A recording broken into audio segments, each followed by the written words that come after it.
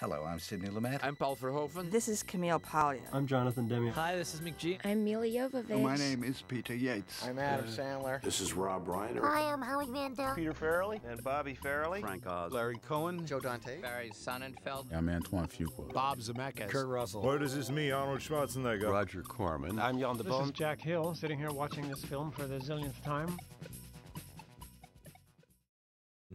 Kong Palm. King Kong Palm was something that we, you know, always liked out of Iron Monkey, and the Buddha on Lotus is something that came from Iron Monkey as well, and we just wanted to have fun with that, and thought it was simultaneously tough and sexy.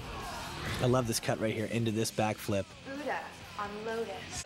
That's why it was so necessary to have that shot. You know, even if she can say she didn't want it or not, it was essential for the scene for that shot to be in. I don't think it's a problem for her anymore, the whole situation, no. because I think she feels that it really was an essential element of the movie. That specific shot almost made her a star. Inside the men's room, every kind of lesbianism and drug taking is going on. And there is Catherine enthroned again, as in the interrogation scene, this time on a toilet, where it's a kind of literal slumming as this millionairess is finding her thrills and chills in a very degenerate urinal situation. Why don't they have these things when you get on trains? Isn't that interesting? Very... Isn't that well, interesting? Well, it's because they can't say this train is going to Havana. Oh, like no one's going to blow up a train. Yeah. Oh. Ooh. Look at that. Not the first time that's happened. I would get many calls from Michael Jackson begging me to be in Men in Black. He was never scripted to be in Men in Black. I couldn't figure out where to put him in Men in Black. And eventually, through a series of discussions, we found out that what he really wanted more than anything was to wear the suit. We shot the scene in a couple of hours, and I think Michael's really good in the movie. There are, of course, very few people in the House of Usher, and there is Vincent. Vincent was very, very good. I felt uh, he was my first choice for the role, and I thought he was wonderful. After a first take, I said, you know, Meg, in order for this to work, you're going to have to really uh, work into this. I mean, it's only going to be funny if you really go after it full force.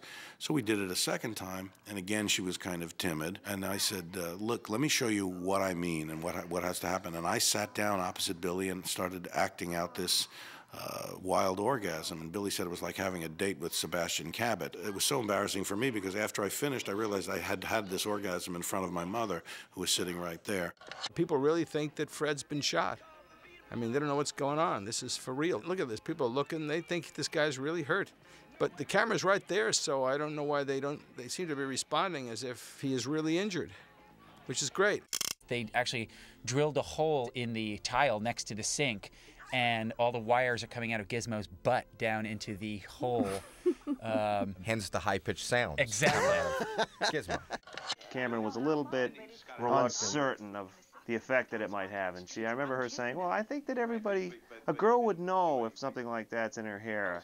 Problem that we have when an actor starts talking like that is, yeah, you know, is that they're right, and it, it becomes kind of hard to defend your position. Rudy Russo is Jimmy Stewart in It's a Wonderful Life, except that he's totally corrupt. Can you get Kurt Russell?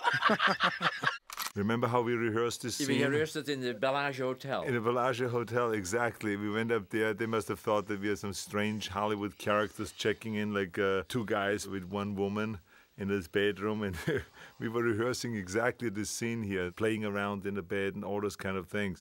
Well, this is around the time where you roll up something and smoke, and you rewind the movie, and you can't believe what you've seen, and you understand what you understand. It's a beautiful thing. We want to thank y'all for picking up the DVD, sharing it with all your loved ones, rewind it over and over again. That's what it's made for.